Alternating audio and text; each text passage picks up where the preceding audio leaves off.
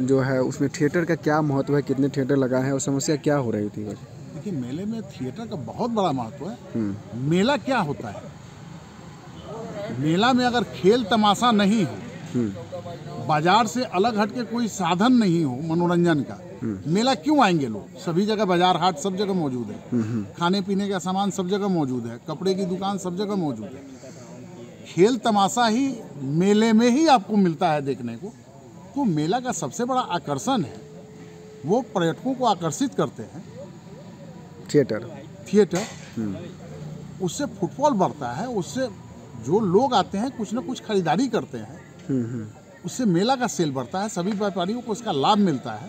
तो मेला में थिएटर का बहुत महत्व है। जो गरीब गुरबे हैं मजदूर आते हैं वो पचास रुपए की टिकट लेके रात में उसी थिएटर में सोते हैं।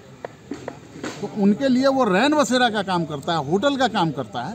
मनोरंजन के साथ साथ सोने की व्यवस्था है उसमें तो कितने इस बार कितना थिएटर लगाया गया है? छः थिएटर लगे हैं। और कलाकार जो है जहाँ दूसरे राज्य से जो आए हैं वो लगभग की संख्या क्या होगा इस बार जो कलाकारों का? वो छः थिएटर का मतलब आप समझ लीजिए कि लगभग आठ सौ नौ सौ की संख्या होगी कलाकारों एक सप्ताह बीत गया क्या नुकसान हुआ होगा? लाखों का नुकसान हुआ होगा। लेकिन अब समयावधि विस्तार मिल गया है। तो हमें लगता है कि वो उनका जो क्षति है हम्म, उसकी कुछ ना कुछ पूर्ति हो जाएगी। अब ये हम उम्मीद करते हैं। अच्छा तो ये आप लोग की तरफ़ से क्या पहल किया गया? जो जो फैसला जो अभी हुआ आप लोग कैसे क्या किए? हम लोगों ने प्रशासन के समक्ष अपना विरोध दर्ज कराया। हमने अपना मांग रखा। प्रशासन ने उन मांगों को माना।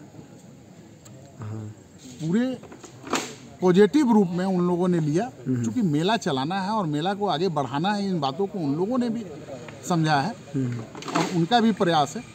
तो स्वाभाविक है कि अगर जायज़ बातें हैं तो सहमति बननी थी।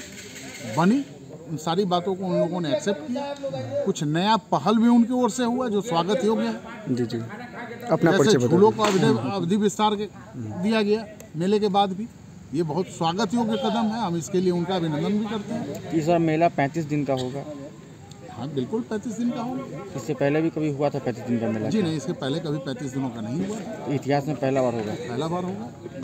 देखिए पहली बात तो ये है कि कंफ्यूजन है।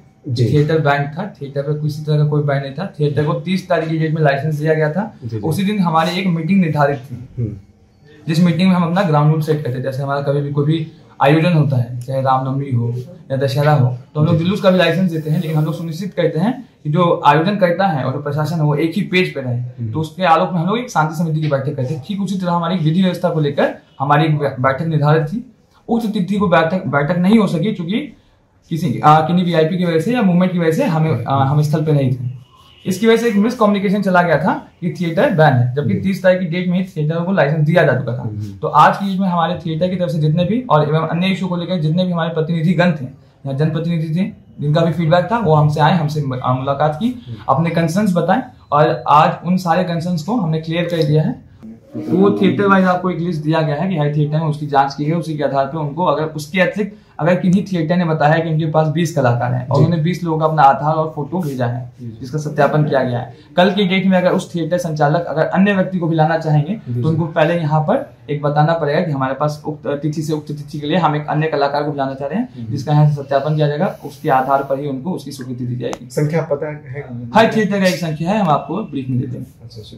ये प्रशासन की तरफ़ से जो सीसीटीवी वगैरह जो लगाया जा रहा है तो इस पर मॉनिटरिंग होगी? प्रशासन की तरफ़ से हर थिएटर में सीसीटीवी लगाया गया है। हर सीसीटीवी का जो हर थिएटर वाइज जो सीसीटीवी है, उसका फ़ीड हमारे बहुत सारे थाना में जा रहा है, हमारे कंट्रोल रूम में जा रहे हैं। जैसे हमारे थिएटर हमारे जो नखास क्षेत्र में जो थिएटर है तो थिएटर क्षेत्र के जस्ट पीछे हमने थिएटर थाना भी लगाया है और हमारे नखास थाना भी लगा है। साथ ही साथ हमारा कंट्रोल मेन कंट्रोल रूम भी है। तो हमारे थिएटर से जितने भी सीसीटीवी का फ़ीड आएगा, वो हमारे थिएटर थाना में भी जाएगा, साथ ही साथ नखास थाना में भी जाएगा।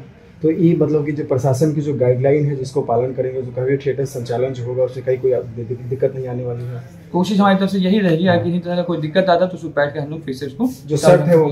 शर्तों को पालन करेंगे तो ये अनुमंडल अधिकारी सोनपुर थे जिन्होंने साफ़ तौर पे कहा कि जो प्रशासन का जो रूल्स है जो फॉलो करना होगा और अपने सुरक्षा को देखते हुए किसी प्रकार का कोई शोर शराबा हंगामा ना हो साउंड को लेकर भी जो है गंभीरता से थिएटर संचालक को देखना हो ज़्यादा साउंड बाहर ना आवे जिसको लेकर भी जो है प्रशासन इस तरफ़ तैयारी है लेकिन मेला का, उद्घाटन होने का सात दिन से होने वाली एक सप्ताह बीत चुका है लेकिन अब तक जो सोनपुर मेले में थिएटर का संचालक नहीं हुआ लेकिन प्रशासन की तरफ़ से अब गाइडलाइन दिया गया है। अगर उस गाइडलाइन के अनुसार अगर थिएटर संचालक अगर फॉलो करते हैं तो मेले में थिएटर की अनुमति दे दी गई है। ABP news Raja Babu Sonpur.